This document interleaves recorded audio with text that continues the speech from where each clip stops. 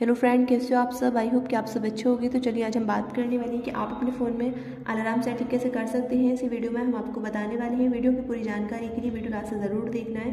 बहुत simple simple step है जो आपको देखनी है फॉलो करनी है। अगर आपने अभी तक हमारे चैनल को सब्सक्राइब नहीं किया है तो आपसे रिक्वेस्ट है कि आप हमारे चैनल को सब्सक्राइब कर लें। आइए वीडियो स्टार्ट करते हैं। आप अपने फ़ोन में अलार्म सेटिंग करने के लिए आपके फ़ोन में एक एप्लीकेशन देखने को मिला था क्लॉक लैम्प से। आपको उसको ओपन कर लेना है।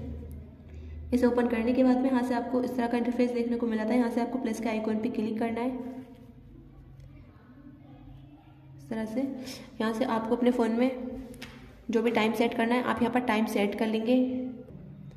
यहाँ से आपको अपने फ़ोन में अलार्म जिस डेज़ में भी सेट करना है संडे मंडे ट्यूसडे वो यहाँ से आप सेट कर लेंगे। सेट करने के बाद में यहाँ से आपको एक ऑप्शन देखने को मिला था विब्रेट का, आपको इसे ऑन करना है तो यहाँ से आपको ऑप्शन देखने को मिल रहा है सेव का, यहाँ से आपको सेव पे क्लिक करना है, यहाँ से आपके फ़ोन में अलार्म सेट हो चुका है।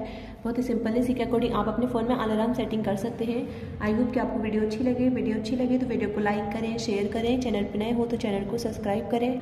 मिलते हैं अगली नेक्स्ट इंटरेस्टिंग वीडियो के साथ। तब तक के लिए बाय एंड टेक केयर